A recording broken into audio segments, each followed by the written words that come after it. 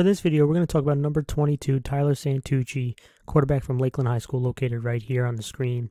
And at six foot one, this is a good athlete. He has good feet. Um, but two things that stand out to me when I watch him is his touch and anticipation on throws, which are two really important things to have. And we're going to go over a couple plays that show those traits. All right, so this first play, all right, what Lakeland's going to do is they're going to motion this receiver into trips.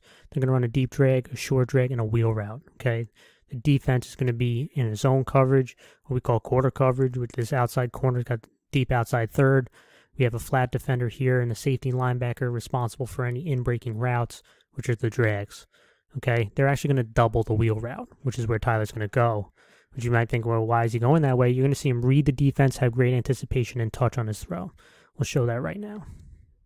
Right there's a motion.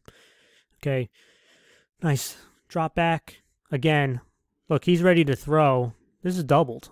But what Tyler's seen is this corner doesn't have good leverage. Look at all the space on the outside third. He trusts his receiver, he trusts the route concept, and he trusts his arm to make a good throw to the outside.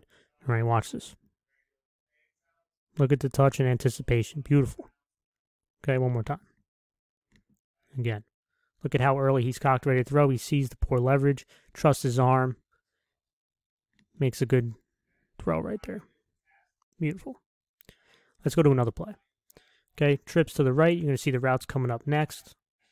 All right. We got a swing. We got a corner. We have this receiver breaking right in front of the linebacker inside, which is going to come open, but he can't get there. You're going to see Tyler use his legs and have great touch on an outside throw. All right. Again, that outside receiver is coming open, but this defensive end does a really good job on an inside move.